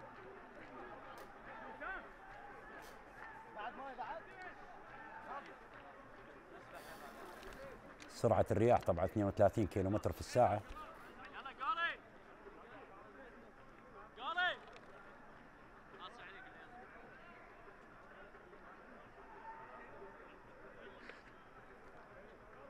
لا زلنا بانتظار عودة الفريقين لأجواء المباراة. نذكر بمشوار الفريقين المتبقي من خلال الجولات الأخيرة. نادي القاسم سيواجه نفط البصرة المباراة القادمة. ونادي بغداد سيقابل نادي الكهرباء في مباراة القادمة. مباريات الفريقين الجولة أو الجولات الخمسة المتبقية. نادي القاسم سيواجه نفط البصرة ونفط الوسط والطلبة والجوية وكربلاء.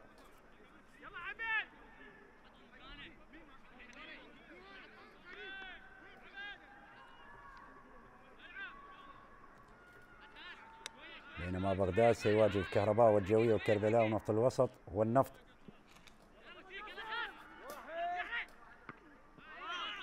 كرة تمر وتبعد إلى خارج الملعب. تصبح رمية جانبية لصالح نادي أمانة بغداد. تغيير آخر لأمانة بغداد. تغيير رابع لأمانة بغداد. لاعب محمد خالد جفال. بديل لجاسم محمد. محمد خالد جفال. لاعب تنقل لعدة أندية. تقريبا مثل ثمان أندية في الدوري الكبار. تحدث عن دهوك وأربيل وعن أندية الزوراء والشرطة نجف نفط الوسط. كثير من الأندية اللي يمثلها محمد خالد جفال اللي اشترك الآن بديل جاسم محمد مع التغييرات فريق أمانة بغداد يغير يحاول أن يغير نتيجة المباراة للانتصار والثلاث نقاط. يتقدم إلى المركز الثامن عشر بدلا من التاسع عشر. يتقدم على نادي القاسم بفارق نقطة إذا ما حقق الانتصار. لكن التعادل يبقي الفريقين بنفس المراكز. التعادل يبقي الفريقين بنفس المراكز.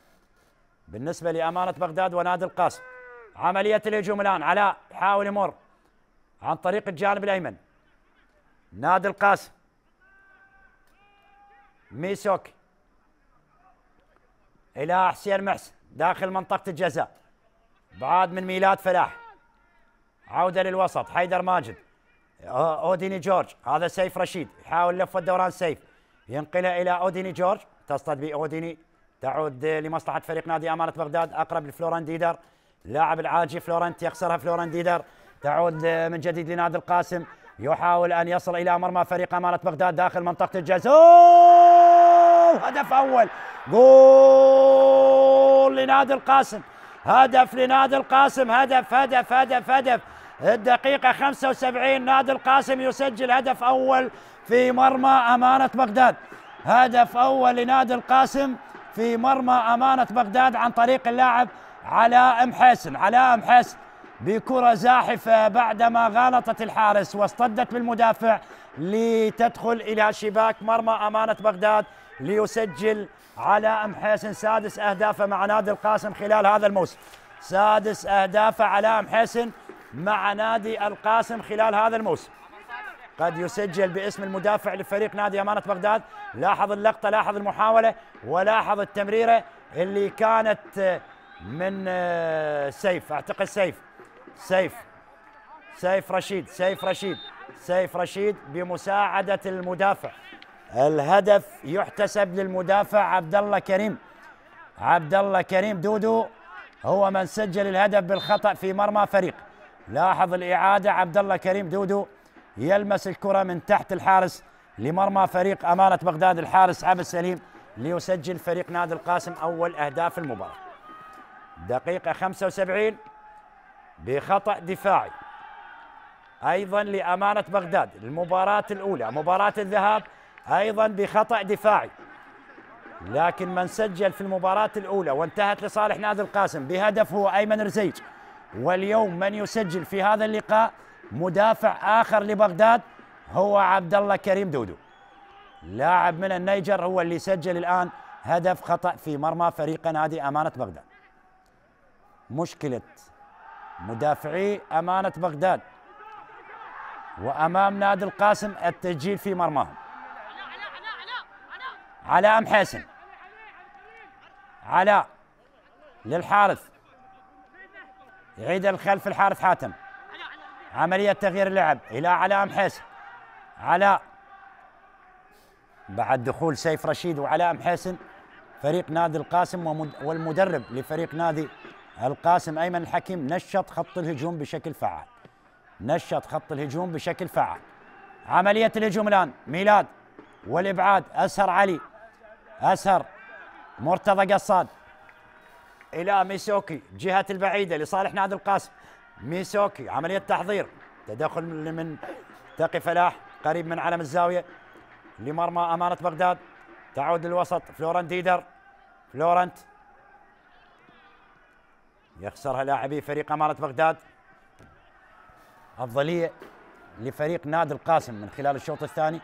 أفضلية في الأداء والنتيجة على حساب أمانة بغداد. الحارث الحارث مر الحارث حاتم يحاول أن ينطلق للأمام وبطاقة صفراء. أعتقد للتحايل ستكون بطاقة صفراء للحارث حاتم. بطاقة صفراء للحارث حاتم.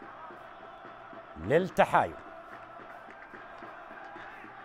حلوة للحارث حاتم. يتلقى أو يتقبل القرار من حكم المباراة بكل روح رياضية. يعني هو أحس بأنه أخطأ في هذه المحاولة.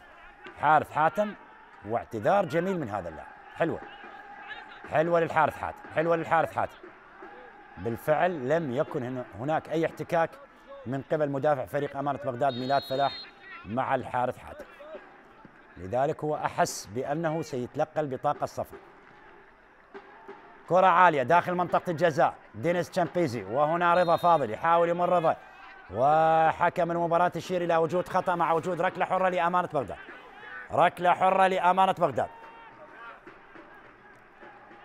ركلة حرة لأمانة بغداد.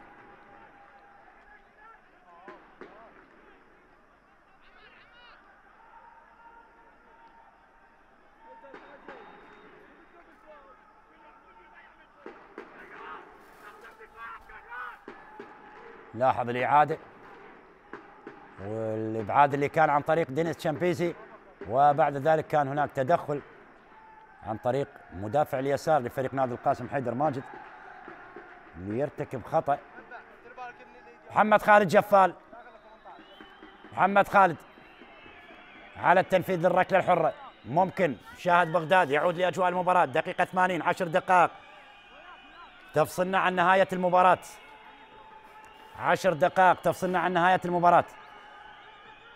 وأمانة بغداد يبحث عن هدف تعادل في هذه اللحظات. في الدقائق العشرة الأخيرة ومحمد خالد على المرمى بالمباشر والحارس. أحمد شاكر الإبعاد إلى ركلة ركنية. أحمد شاكر الإبعاد إلى ركلة ركنية لمصلحة فريق نادي أمانة بغداد. ركلة ركنية. محمد خالد من جديد على القائم القريب. ابعاد من حسين محسن مدافع اليمين اللي يأتي على الجانب الأيسر.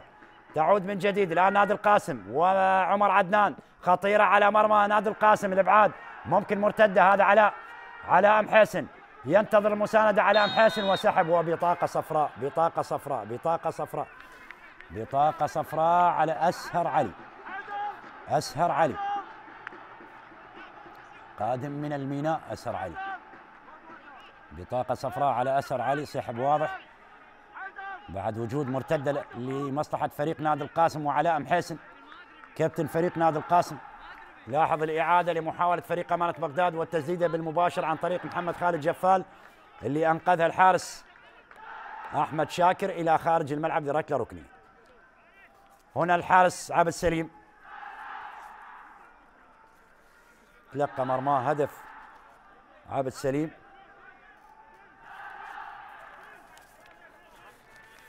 ركلة حرة سيف رشيد. مع عطوة. محمد عطوة.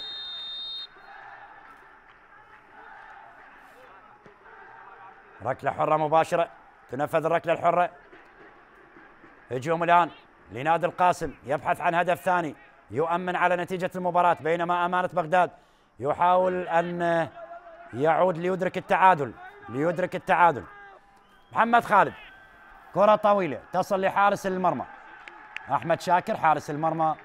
لنادي القاسم. تزأر الآن أسود سورة على حساب أسود العاصمة. وتضع آه، كادر التدريبي لفريق أمانة بغداد تحت الضغط. ثار أحمد ووسام طالب. كرة من جهة اليسار الحارث حاتم. عملية الهجوم الآن. نادي القاسم يحاول أن يضاعف النتيجة بهدف آخر. تغيير اللعب هناك على الطرف الأيمن. والبحث عن ميسوك. لم يظهر في هذه المباراة ميسوك يعني أغلب مباريات نادي القاسم دائما تجد الحل مع اللاعب الغانم ميسوكي لكن اليوم لم يظهر بالشكل المطلوب لاعب جهة اليمين لفريق نادي القاسم ميسوك حسين محسن يتقدم داخل منطقة الجزاء سيف رشيد الرأسية وتصل لحارس المرمى عبد سليم. عبد سليم حارس المرمى لنادي أمانة بغداد. سبق وأن لعب الكرخ انتقل للميناء لكن لم يشترك مع الميناء خلال هذا الموسم بسبب العقوبة اللي طالت الميناء من قبل الاتحاد الدولي لكرة القدم. لذلك غادروا كل اللاعبين اللي تم التوقيع معهم بالنسبة لنادي الميناء وفريق الميناء اعتمد على اللاعبين الشبان لاعبي الميناء من فريق الشباب والرديف. وبالتالي استطاع أن يحقق نتائج جيدة وممتازة مع مدربه الشاطر حسن اللي استطاع أن ينتشل فريق الميناء من المراكز الأخيرة ليضع في مركز جيد لحد الآن ويحاول ابتعاد فريق الميناء من مراكز الخطر والبقاء للموسم القادم والتفكير في الموسم القادم. لاستقطاب لاعبين على مستوى الاحتراف وأيضا لاعبين المحليين اللاعبين الجيدين اللي من الممكن أن نشاهد الميناء فريق منافس مع الفرق الكبيرة لدوري نجوم العراق. رمية جانبية ميلاد على التنفيذ الرميه الجانبية داخل منطقة الجزاء. محمد خالد من امامه تبعد الحارث فلاح. المتراجع للخلف ينقل الكره للأمام أقرب لميسوك. من امامه تبعد ميسوك عن طريق تقي فلاح. المحاولة تستمر. ميلاد ممكن يسدد على المرمى. ميلاد والحارس أحمد شاكر. والحارس أحمد شاكر حارس المرمى لنادي القاسم للمرة الثانية. ينقذ مرمى فريق النادي القاسم من محاولة أخرى لفريق أمانة بغداد. عمر عدنان إلى فلوران ديدر جهة اليسار علي خليل. علي خليل داخل منطقة الجزاء لكن بعيدة بعيدة عن رضا. رضا فاضل. ثائر أحمد. أكيد أكيد في هذا التوقيت في هذا ال- الوضع الصعب اللي يمر فيه نادي اماره بغداد. استلام المهمة بالنسبة لثائر أحمد يحاول إنقاذ ما يمكن إنقاذه لكن يبدو لي الأمر صعب جدا الأمر صعب جدا على فريق اماره بغداد. يعني مباراة اليوم بست نقاط بالنسبة للفريقين يعني نادي القاسم إذا ما أنهى المباراة بهذا الانتصار راح يبتعد عن فريق نادي أمانة بغداد بخمس نقاط. يبتعد عن نادي أمانة بغداد بخمس نقاط. ويشارك فريق نفط البصرة بنفس المركز. يعني نفط البصرة المركز. لعب محمد لعب 17 وهنا تغيير.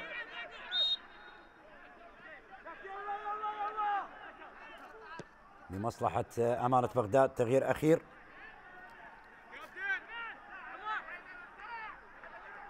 ثار أحمد يستنفذ كل تغييراته. هذا حسين زياد اللي اشترك الآن. حسين زياد.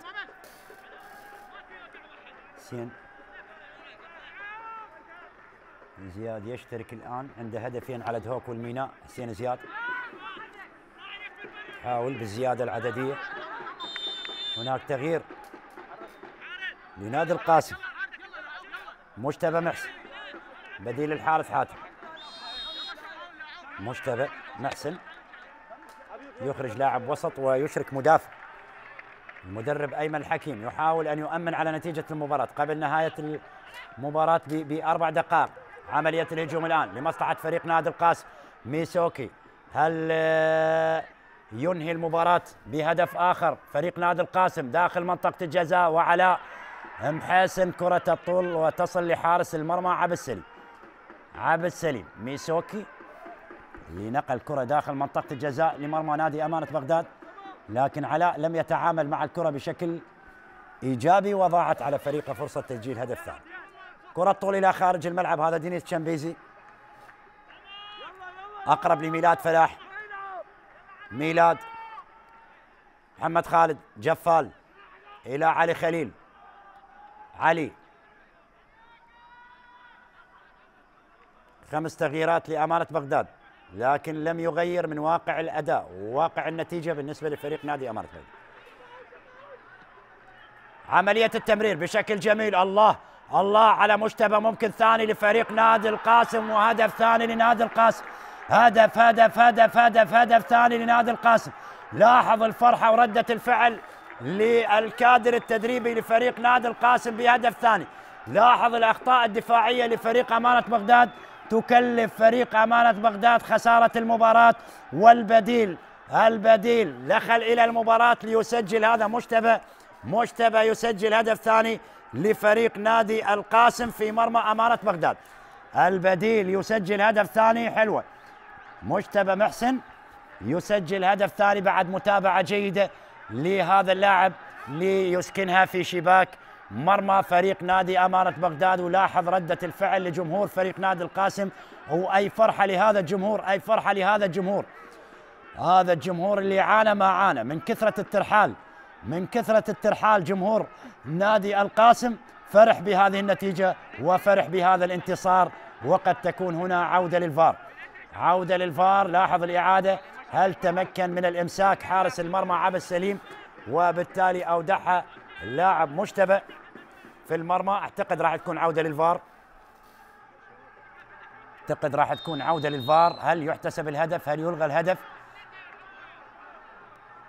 هل يلغى الهدف؟ ننتظر القرار من حكم المباراة. محمد صادق هل هناك خطأ؟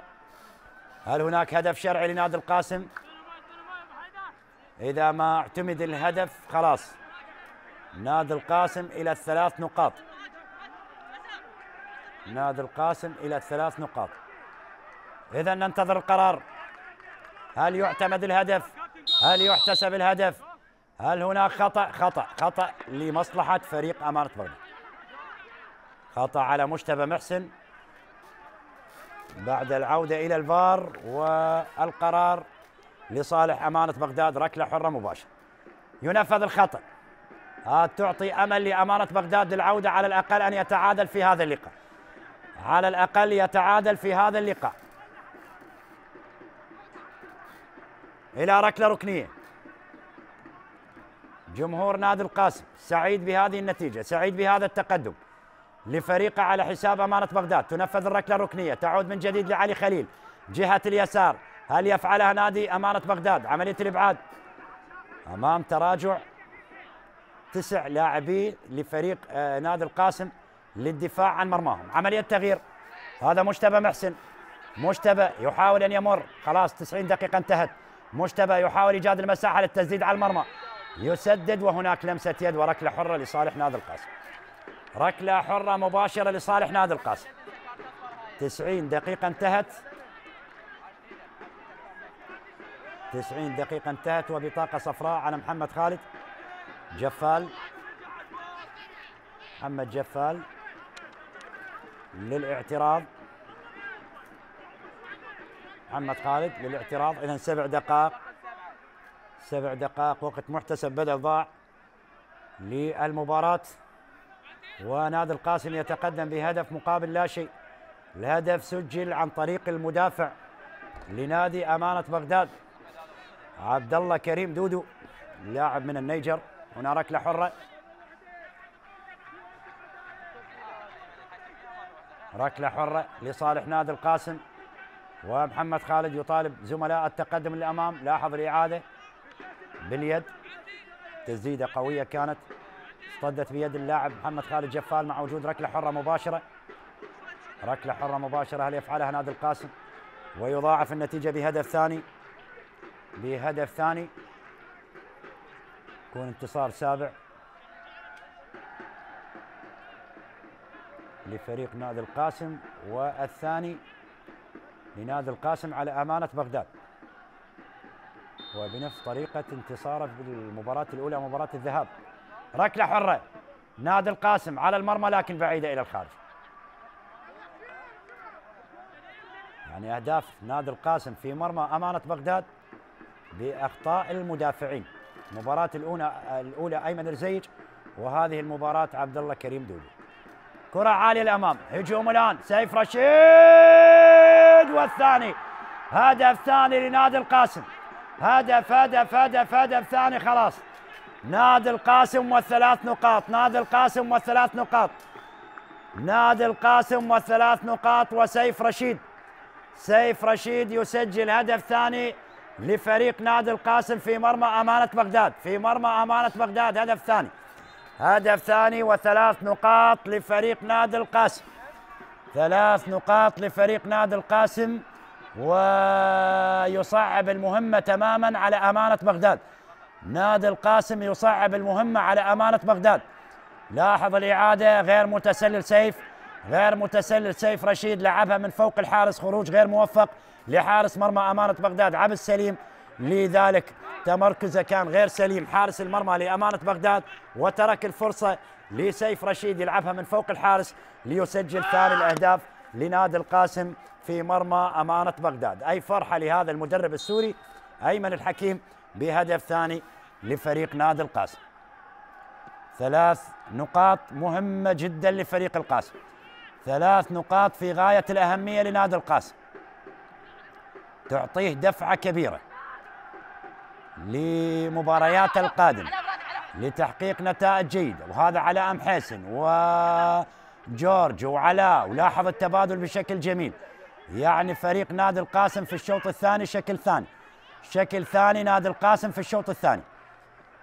يعني أداء ونتيجة وهدف ملغي. تحسب للمدرب أيمن الحكيم.